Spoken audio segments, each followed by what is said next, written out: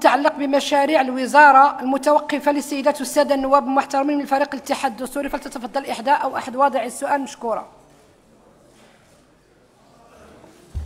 شكرا السيدة الرئيسة.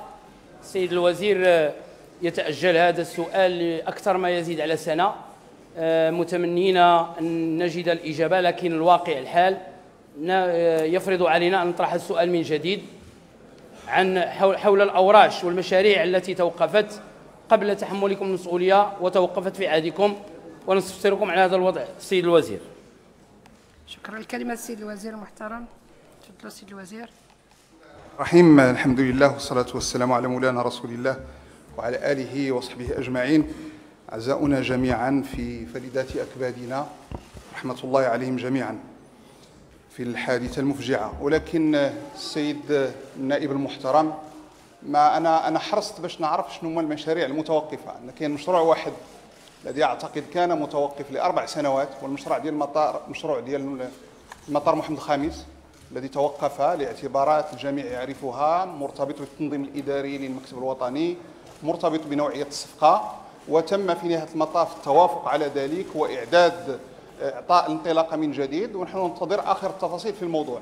إذا كان شي مشاريع متوقفة أنا حاولت نتصلوا باش الإخوان يخبرونا شنو هي المشاريع المتوقفة باش يمكن تكون عندنا المعطيات في هذا الموضوع.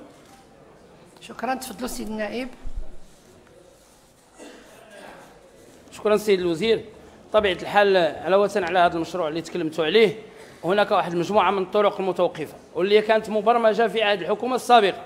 منها 4004 في العمالة ديال سلا 4002 4033 307 للأشغال المتعثرة منذ 2012 في بزو بين بزو وتنانت.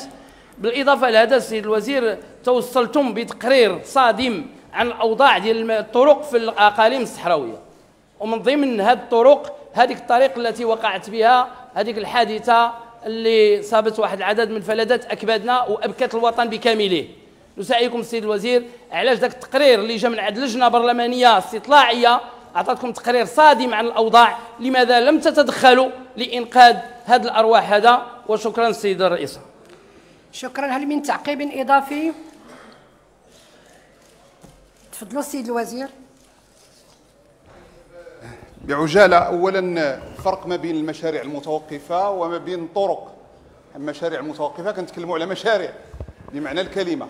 أما صفقات أعلن عنها ثم ألغيات أو الشركات ما قامتش باللي عليها ثم كتعاود الصفقه هذا جاري به العمل في العالم في الجماعات المحلية في الوزارات ولا أعرف أن هناك مشروع بدأته الحكومة وأوقفته هذه الحكومة. هذه الحكومة تستمر في إطار منطق ديال التجويد في إطار منطق ديال التحسين. شكرا سيد الوزير. شكرا. السؤال